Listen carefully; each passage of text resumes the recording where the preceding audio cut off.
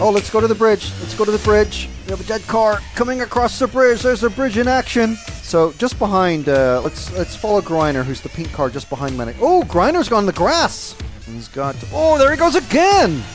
Now very heavy in the wall, and he stopped. That is a broken car. So who are these two? Oh, and another one into the blue barrier, upside down. Catch him.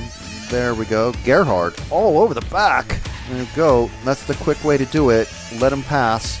If you're, you know, you've got noise distraction. Oh, oh, very lucky there for Turco. Oh, Turco goes off again.